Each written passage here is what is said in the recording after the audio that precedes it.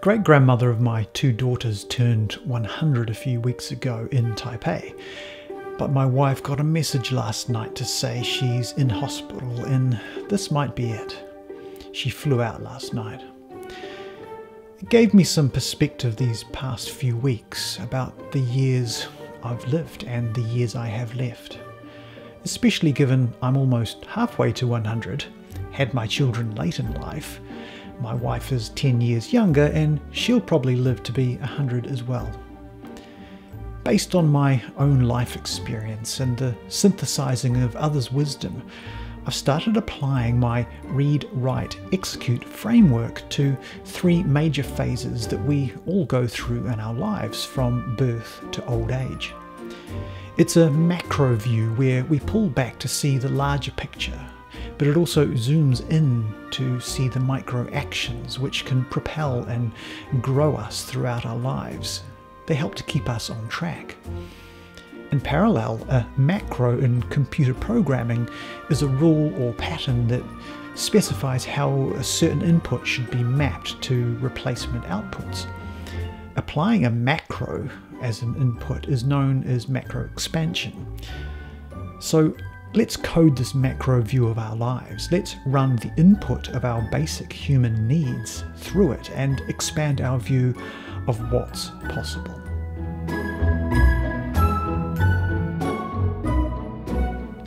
If you've followed my newsletters so far, you'll know I regularly come back to this framework, which is based on the command line code in old school Unix operating system. It's the precursor to the more well known Linux OS, which Android phones run on.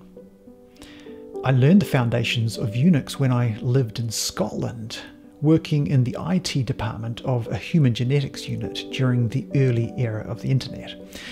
I ran daily backups of research data and managed the permissions for users to access various files and folders. Read, write, execute refers to the permissions of a user to access those files and folders. To change permissions, you run chmod, change mode, and then numbers which apply to varying levels of access. 777 is the top level giving full permissions to RWX or read, write, execute. The SU or super user is the system uh, user who has the root access to make all of these changes. My personal read, write, execute framework then is a metaphor for personal growth and autonomy. It's about giving permissions to ourselves to become super users in our own lives and work towards a permissionless future where we can take full control. This leads to my theoretical command line, chmod 888, a hidden command for infinite and permissionless ownership of our future the ultimate growth hack of our very DNA. You should know, I like building a narrative. Before we delve into these three phases of our lives, let's see them alongside the basic human needs that weave through the timeline of our lives. I'm going to call this our lifeline of needs.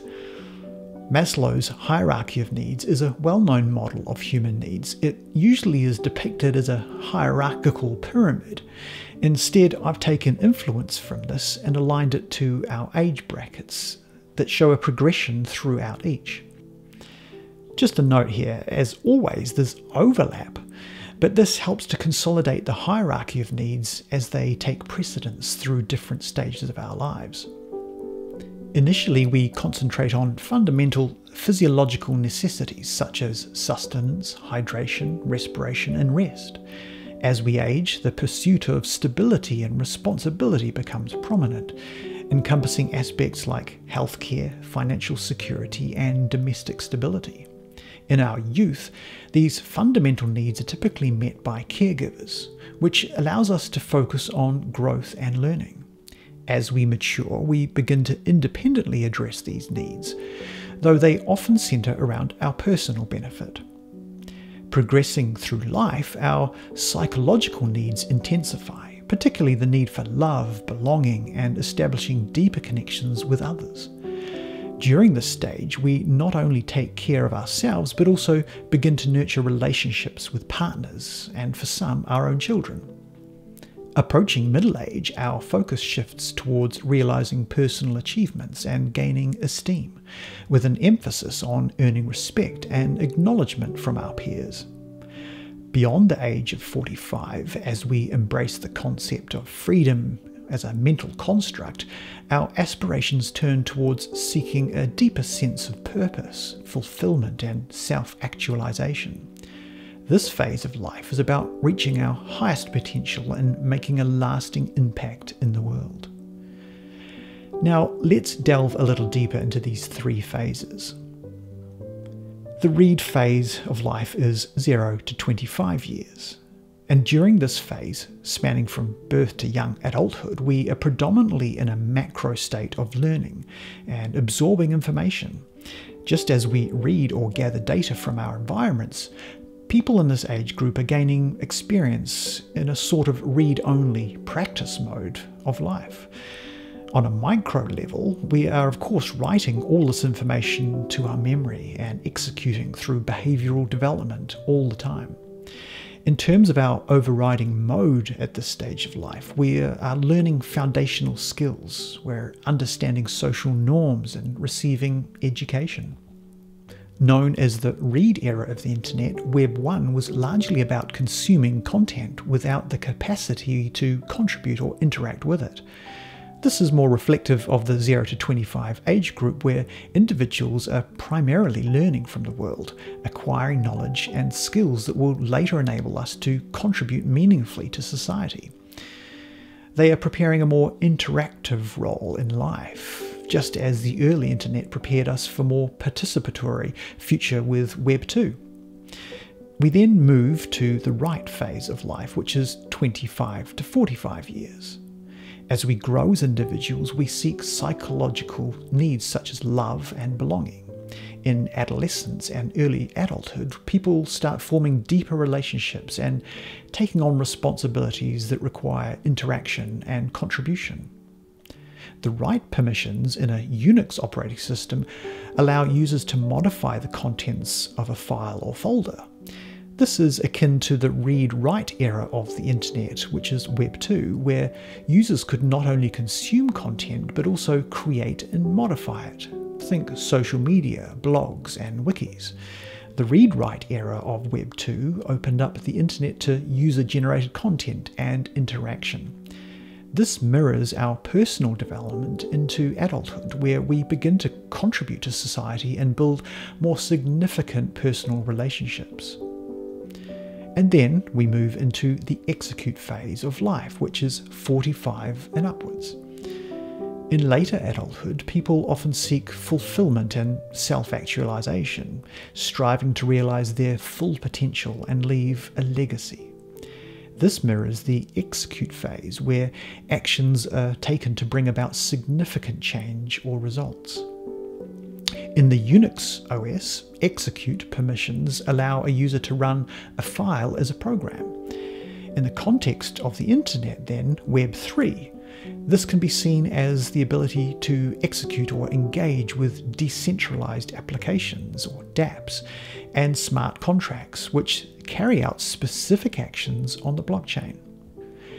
As individuals in the stage of personal development, we are looking to make a mark and effect change.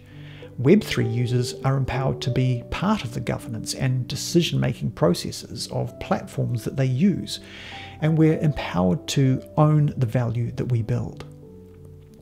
So, to boil that down, the read era of personal development and Web 1 is primarily about consumption of information. The write era of Web 2 corresponds to contribution and interaction, and the execute era of personal growth parallels the deeper values, empowerment, and legacy building of Web 3. Let's dive even deeper into what we can do through these stages of life to take advantage of this permission paradigm. In computing, the read permission allows the contents of a file to be viewed by a user. For directories, this permission allows users to list the contents of a directory. In much the same way, the read component in my framework starts with learning through the consumption of information. This encompasses everything from reading books to blogs and formal education if you want to practice the discipline of learning in a more institutional environment. But nowadays, it's self driven learning that has the greatest potential, from short courses in e learning to YouTube or ChatGPT. But there are two types of learning in life there's studied and experienced. Combined, these equal knowledge. They're both equally important, but in our younger years, learning to deep dive for information and apply critical thinking is the skill that will prepare us for life. I'm not going to assume, however, that everyone has the privilege of higher education or even the luxury of free time in their youth. The reality is, many young people have it damn tough, and they're out there just doing it on their own. Generally speaking, though, the responsibilities from our teens to early 20s are for jobs that can mentally clock out. They're good life experience, but typically they serve to earn a buck. I mean, hell, I was cleaning offices after school when I was a teenager, or washing dishes in cafes. So these responsibilities are more to fend for yourself.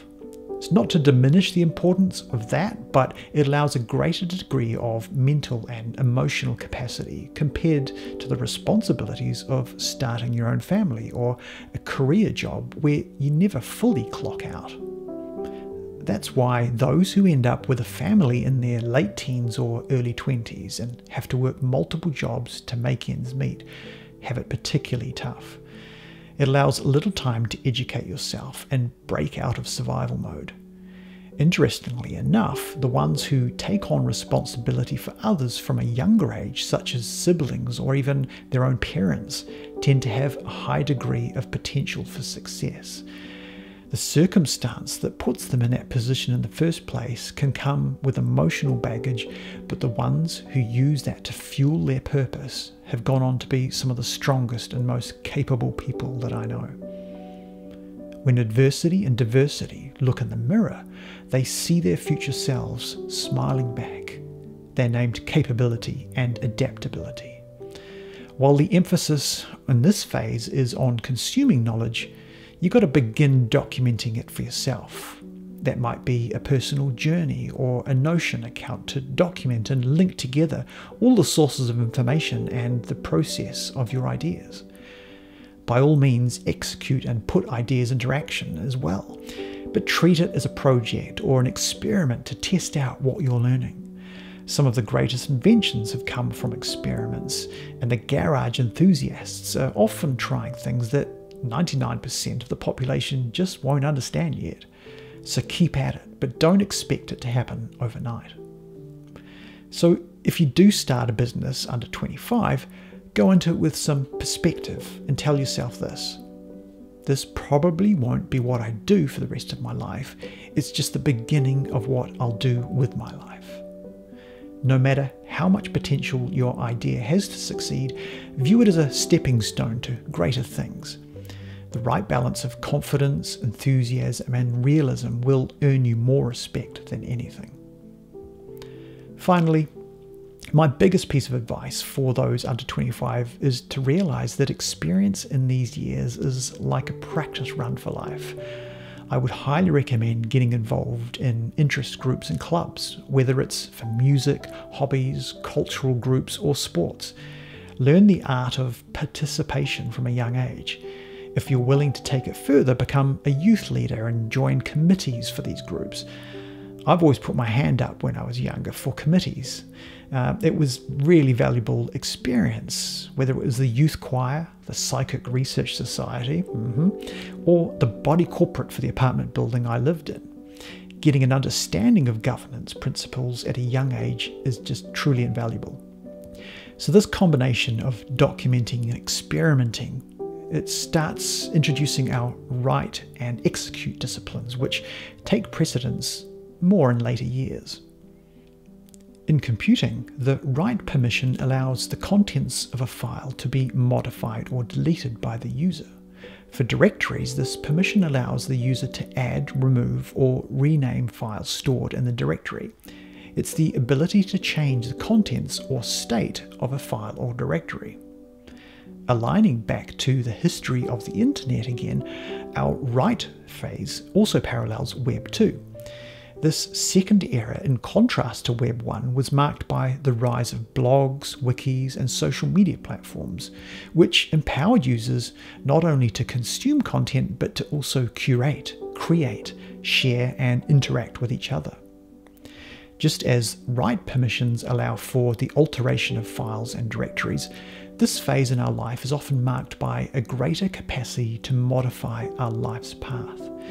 This is a period where many of us take significant steps in our careers. We start families, establish homes, and engage more deeply with our communities.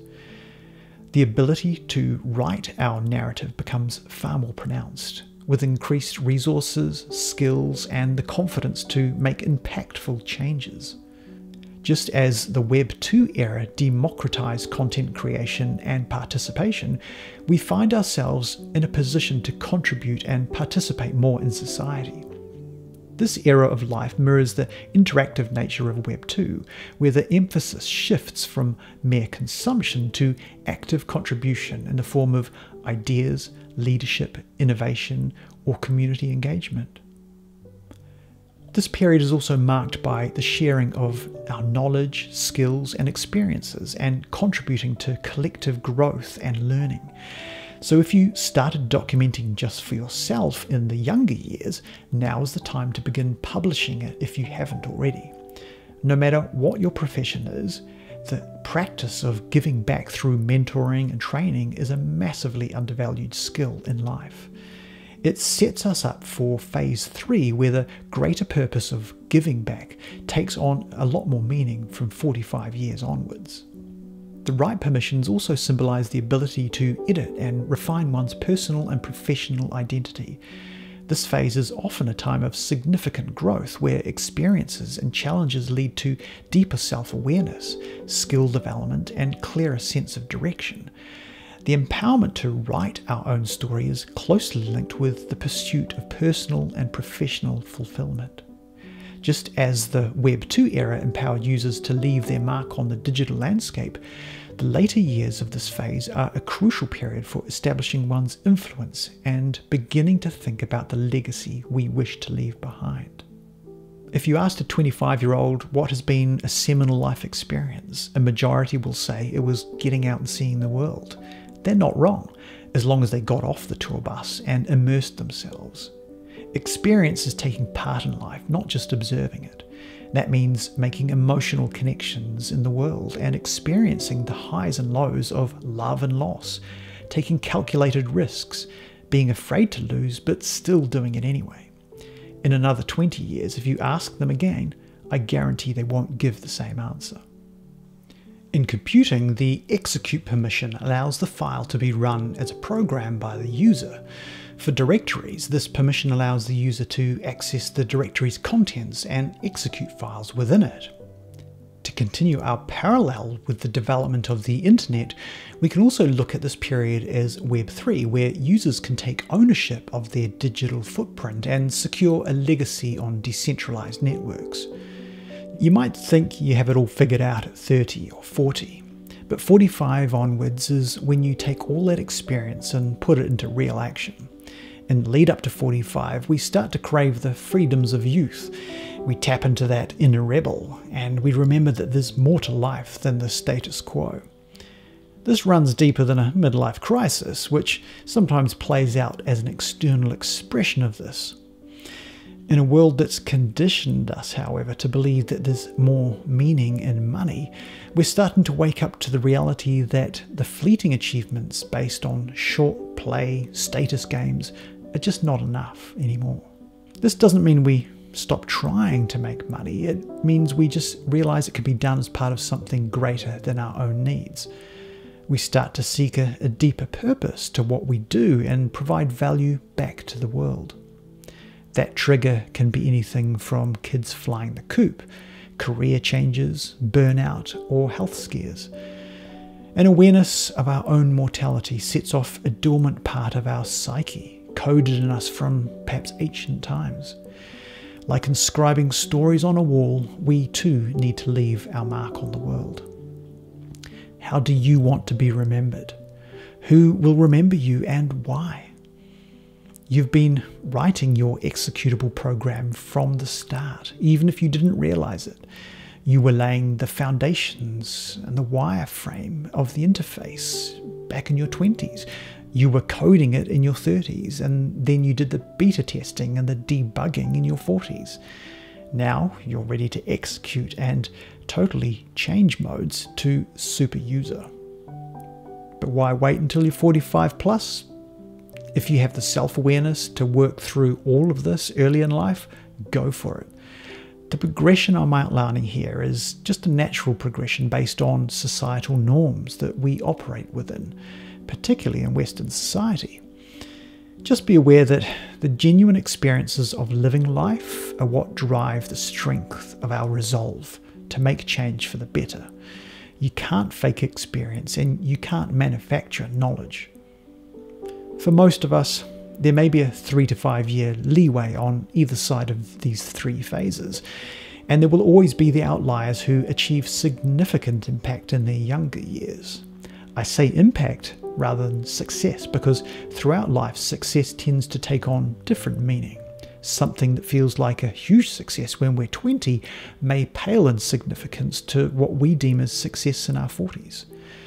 Considering my own journey through this timeline, I don't entirely fit the mold, but I didn't produce this for myself alone. I was a late starter in many respects and an early adopter in other ways. I did my share of life experiments between 25 to 35, including three failed businesses, alongside a mixed career between web development and television. But the experience and knowledge I gained propelled me into what I consider a successful career in brand marketing from 35 to 45. And I may never have landed that without the stepping stones to get there. Those 10 years also introduced me to what a late starter can actually achieve. The founder of the brand I worked for started his business at 65 when most people are retiring, and he had an incredible level of purpose right from the start. He was the perfect example of building your belief system in your early years from experience and in an industry that desperately needed change. He regularly told stories of his formative years, which taught him about giving back to the less fortunate. That brand went on to become one of the 10 biggest tea brands in the world, and unfortunately, he died last year at the age of 93. His sons and their grandchildren have now taken over the family owned business, but his life fits this timeline to a T. I used to go to sleep as a teenager listening to vinyl of Edith Piaf singing Non, je ne rien. Non, je ne regrette rien. Excuse my French, if not my singing. I live by that and I have no regrets in life. I launched several of my own businesses, but I was always too early. I was importing craft beer from Australia to New Zealand before there was a market for it. I was building a gamified tourism business in 2004 before we had funding and resources to scale it further. I bought the master franchise license for a designer retail chain and launched the first store just before the GFC, the global financial crisis of 2008. The businesses failed. I didn't. I learned a lot from those ventures, and even now, if I went back and did it again, I don't believe they would have worked in the circumstances. Throughout all three of the life phases that we've covered, the principles of read, write, execute continue to spin like a whirring flywheel of growth. Each supports and amplifies each other. You'll always be learning, you'll always be engaging, and you'll always be putting your knowledge into action. Don't be afraid to fail. The only failure is not finishing with your best foot forward.